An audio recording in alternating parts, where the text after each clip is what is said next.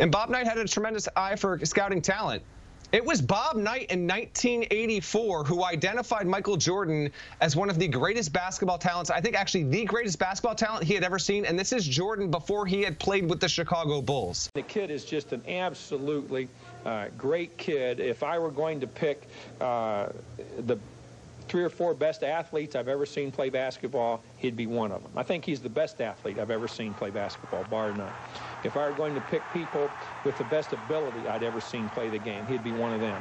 If I were going to pick the best competitors that I'd ever seen play. He'd be one of them. So in the categories of competitiveness, ability, uh, skill, and then uh, athletic ability, uh, he's the best athlete. He's one of the best competitors. He's one of the most skilled players. And, and that, to me, makes him the best basketball player that I've ever seen play.